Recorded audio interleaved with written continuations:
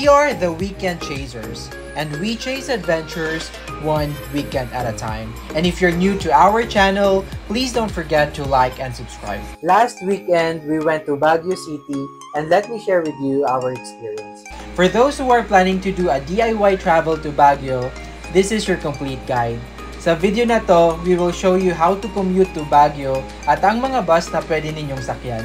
I have been to Baguio for a few times already and have tried both the regular bus and the luxury or the first class buses. We will give you three hotel recommendations at itong mga hotel na to ay walking distance sa Burnham Park at Session Road.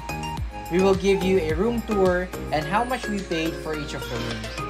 Sa video din na to, isi-share namin ang mga tour spots na pwede ninyong puntahan at ang mga restaurants na pwede ninyong itry at ang summary of our expenses for 3 days, 2 night stay in Baguio. How to commute to Baguio? There are two bus lines that we have tried, the Victory Liner and the Solid North bus.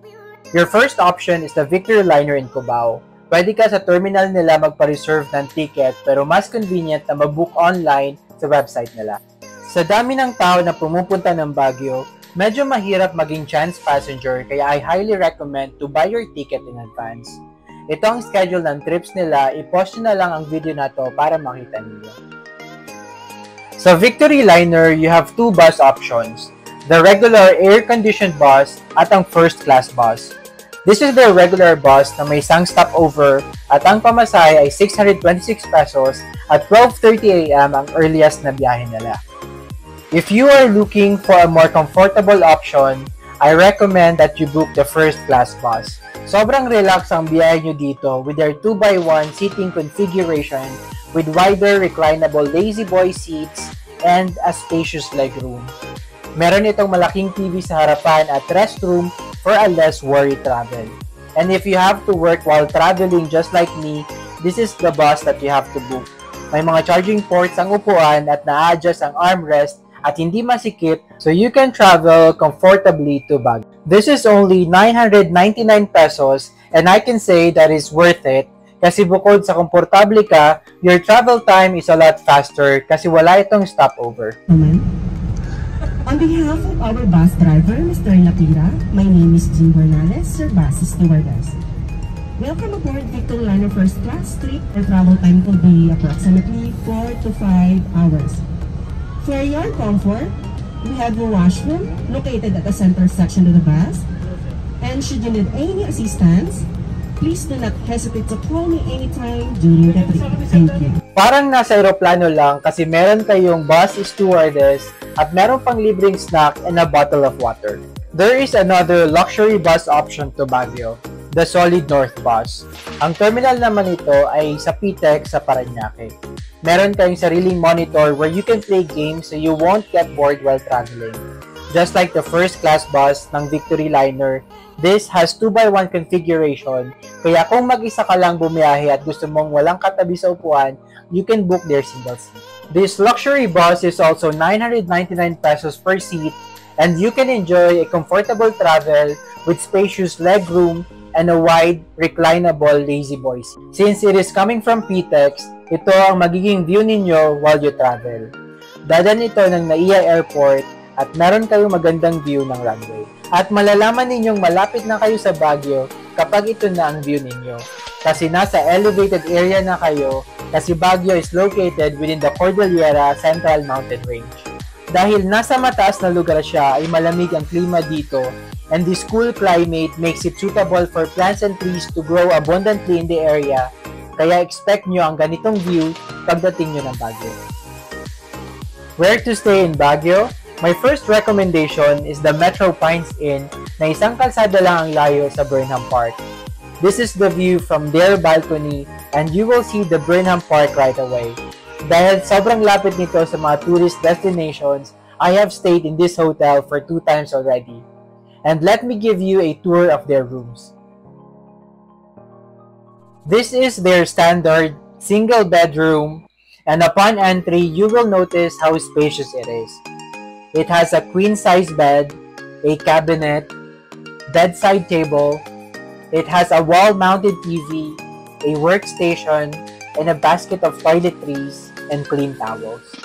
There's a table for luggage near the door and another table near the bed, so there's a lot of space to put your things on. The comfort room is big with glass divider between the shower and the toilet area and it has a hot shower that is necessary for a cold place like Baguio. This is their standard twin bedroom that is also very spacious. The single bedroom is 2,800 that I booked in Agoda, while this twin bedroom is 3,200 pesos. The hotel has no restaurant, so they do not serve breakfast, but there's a cafe that's open for 24-7 that can serve food. And there's a lot of restaurant that's just few steps away from the hotel and the famous Good Taste restaurant is just one building away from this hotel. In terms of location, this place is a 10 out of 10. The second hotel I would recommend is cheaper but definitely a good option if you want to stay along Session Road. This is the Benguet Prime Hotel. For only 1,781 pesos per night, you get to stay in a spacious room with a good view of the city. Kung galing kayong Burnham Park at pupunta kayo ng SM, ay madadaanan ninyo itong hotel na to. Bukod na nasa city proper siya ng Baguio, ang location nito ay sobrang convenient para sa mga commuters kasi malapit siya sa bus station. This may be a cheaper option, but the room will provide you everything you need. It has a queen-size bed, a TV, a dining table and chairs, and even have extra chairs that you can bring in the balcony to relax and watch how Session Road get crowded and busy with the tourists during the day and even at night. The room comes with free bottles of water and a snack and a complimentary breakfast for two. This is your view while working if you brought your laptops with you and you have to work while on vacation just like me. Their Wi-Fi is working which is one of my requirements when booking a hotel as I have to respond to some emails and monitor the account I handle. For a budget-friendly hotel with free breakfast and a very good location, this place is definitely a good find. Olive Town Center and Hotel is the third place I would recommend. This hotel is known for its big chandeliers and very high ceiling. It is walking distance to Session Road at malapit sa where you can buy your essentials. If you are looking for a place that's quiet but not too far from the city and Burnham Park, this is the hotel for you. By the looks of it, it is obvious that the rooms are new and well maintained. The room we got had two beds and it can be compared to a 4-star hotel where you get a really comfy blanket and two sets of pillows per bed. It has a big TV, a workstation slash a vanity table on both sides of the bed, a huge cabinet with a lot of compartments, and a clean comfort room with a hot and cold shower. Kung medyo maselan ka pagdating sa accommodation, this is the hotel that you have to book kasi sobrang linis niya. They have a balcony with a sliding door and you will see the neighboring buildings at first. But when you turn right, you get a good view of the residential area filled with trees and colorful houses.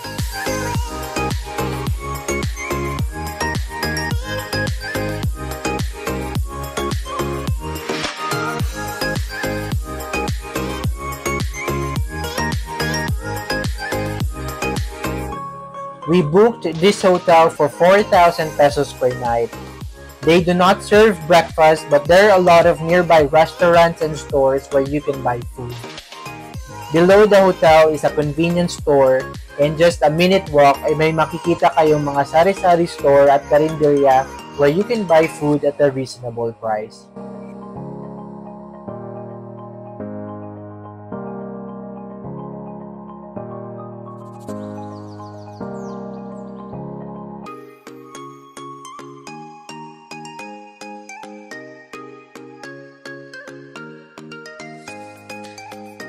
What to do in Baguio?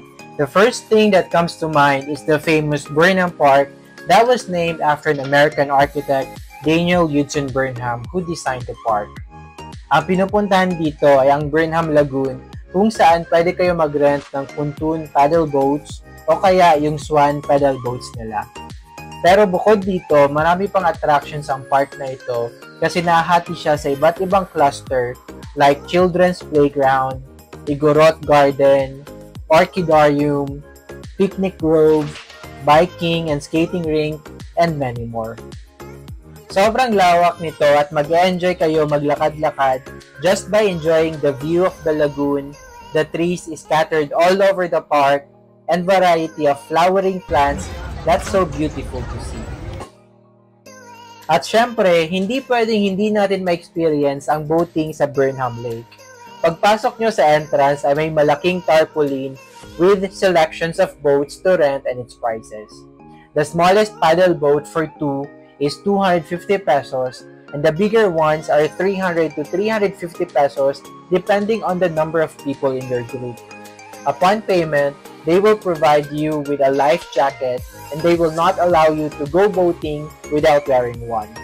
The Burnham Lake is at least 3 meters deep and they are very strict for a reason. We chose a Swan pedal boat because I have to take videos, so I prefer to make my feet busy paddling and my hands to hold my phone really tight to make sure that it won't get wet. Another activity to do in the park is biking. There are several bike rental stores in the area and you can rent a bike for as low as 75 pesos for kids and 150 pesos for the adults. The area is very big so even if there are a lot of tourists, you will still have a space to bike. Ingat lang at wag sobrang bilis magpatakbo kasi madaming bata ang nagbabike. This is one of the activities that you can do as a family and maybe a way to keep your kids busy while you enjoy the park. But of course, someone should be keeping an eye on your young ones. We also tried the famous strawberry taho and other street foods in the area. This is the view of the Burnham Lake at 5.30 in the morning. It gets really crowded and noisy during the day, but if you go to the park really early, it is quiet and really peaceful, and you can enjoy an early morning walk with fresh cold air and really nice view. You will see other people who are doing their early morning exercise, and there are groups of people who would perform Zumba dances, and you are welcome to join them.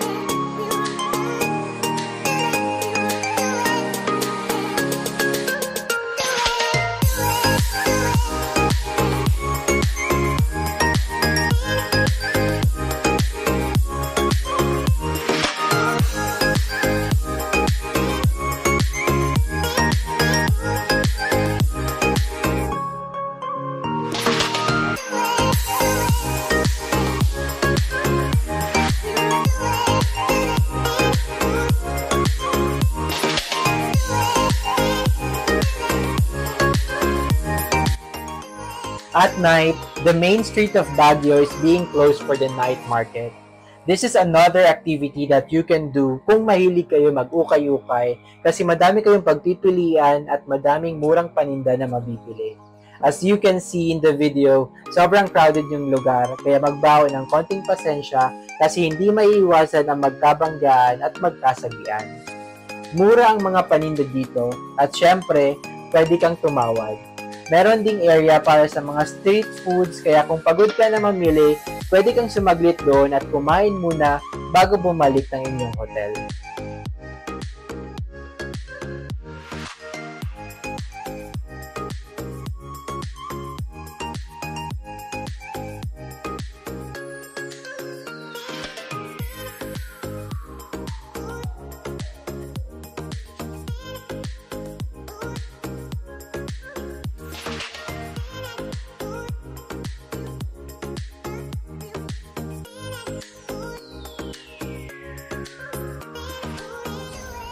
This is the Baguio Cathedral and another place that you can visit in Baguio. It is also called as Our Lady of the Atonement Cathedral. From Session Road, you have to take a 104-step stone staircase that ends at the cavalry to get to the cathedral.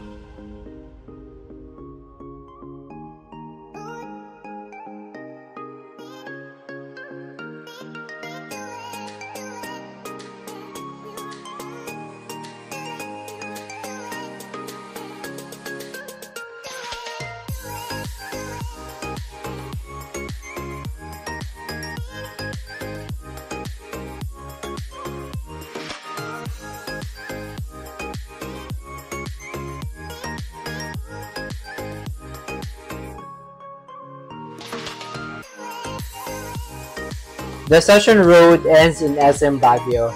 This is one of the elevated area in Baguio where you can have a good look of the city and the surrounding area.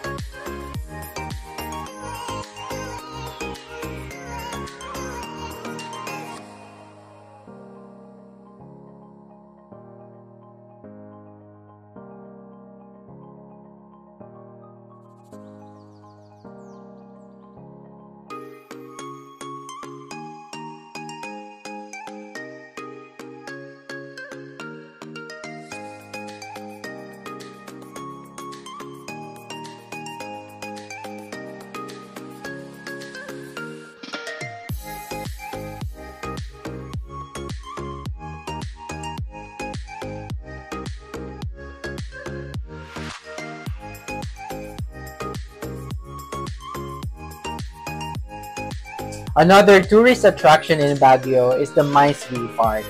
From Session Road, kailangan mo mag-taxi kasi medyo malayo ito. We paid 170 pesos for one way just to get there. It is called Mines View because the park overlooks the mining town of Itogon that is known for having gold and copper mines.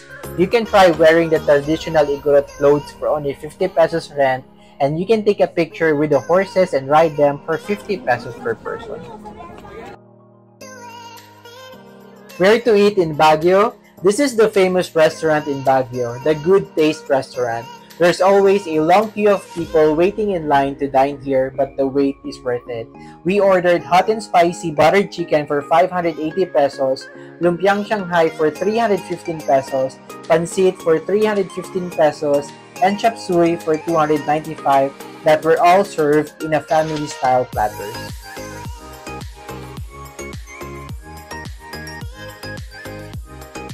I know this is a long video, but thank you for watching and reaching this far. Please don't forget to like and subscribe. Thank you.